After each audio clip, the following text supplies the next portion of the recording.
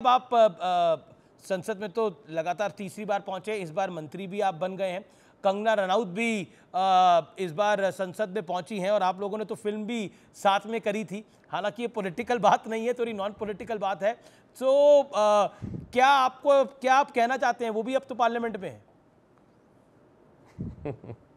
भाई मैं क्या बोलूँ इसके ऊपर? इस बात का ना इस सरकार से कुछ लेना देना है ना इस बात का इस बजट से कुछ लेना देना है। जी। मतलब वो भी एक सांसद की भूमिका में है मैं भी एक सांसद की भूमिका में हूँ अपने अपने क्षेत्र अपने अपने प्रदेश के विकास के लिए हम लोग कार्य करने की कोशिश कर रहे हैं। कोई कह रहा है कि झुंझुना मिला है बिहार को कोई कह रहा है लॉटरी लगी है बिहार की आप क्या कह रहे हैं?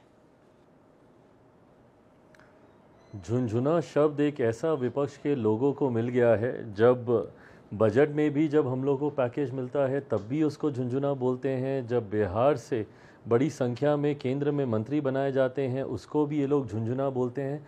हकीकत है कि जब इनका अपना समय था, आप मुझे बताइए ना, राजद के लोग बिहार से इतना हो हल्ला कर रहे हैं, कांग्रेस के लोग कर रहे हैं, इन लोगों की भी तो सरकार थी केंद्र में।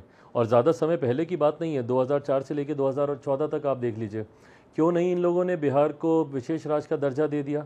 क्यों नहीं इन लोगों ने अपने बजट में उस वक्त स्पेशल पैकेजेस की इन्होंने अनाउंसमेंट की?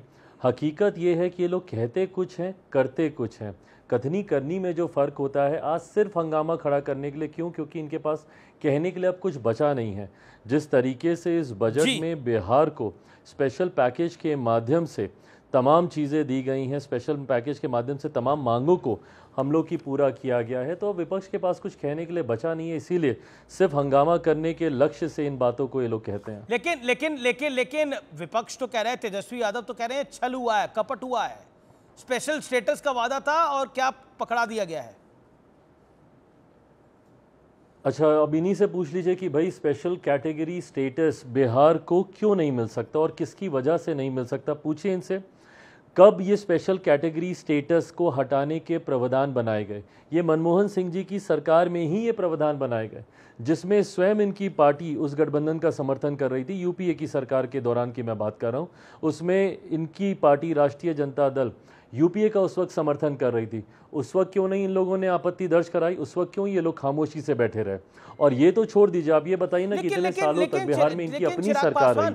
उस दौरान उन लोगों ने क्यों नहीं इसको किया? लेकिन एक नैरेटिव बिल्डिंग होती है और हमने ये 2024 के लोकसभा चुनाव में भी देखा। हालाँकि बिहार में आपकी सीटें अच्छी आई लेकिन उत्तर प्रदेश के अंदर एनडीए को बड़ा नुकसान हुआ बीजेपी को नुकसान हुआ। मध्य प्रदेश में सीटें अच्छी आई लेकिन महाराष्ट्र में बगल के राज्य में नुकसान हुआ। नैरेटिव बिल्ड कर दिया गया कि आप लोग आएँगे तो संविधान बदल देंगे। अब नैरेटिव बिल्ड कर- दिया जा रहा है कि युवाओं के लिए इस बजट में कुछ नहीं है मिडिल क्लास के लिए कुछ नहीं है। ये बजट में ऐसा कुछ है ही नहीं जिसकी बात हो सके। एक नैरेटिव बिल्डिंग आपके सरकार के खिलाफ लगातार हो रही है। मोदी के खिलाफ लगातार हो रही है प्रधानमंत्री के नरेटिव बिल्डिंग नहीं नरेटिव बिल्डिंग ही नहीं अमिश भाई ये फॉल्स नरेटिव बिल्ड करते हैं। ये लोग झूठ बोलकर लोगों को डराने का काम करते तो हैं। आरक्षण तो संविधान का आपने ज़िक्र किया पूरे चुनाव। में। अगर फॉल्स नैरेटिव भी बिल्ड करे तो हाँ नहीं मैं इस बात को मैं मानूँगा इस बात को मैं बहुत मैं बहुत विनम्रता से इस बात को स्वीकार करूँगा। चुनाव में हम लोगों ने देखा इन लोगों का फॉल्स नैरेटिव कहीं ना कहीं सक्सेसफुल हुए कई राज्यों में। उत्तर प्रदेश उसका उदाहरण है जहाँ पे आरक्षण संविधान को लेकर इन लोगों ने भ्रम फैलाने का कार्य किया और उसमें सफल हुए पर कांच की हांडी कितनी बार चढ़ेगी?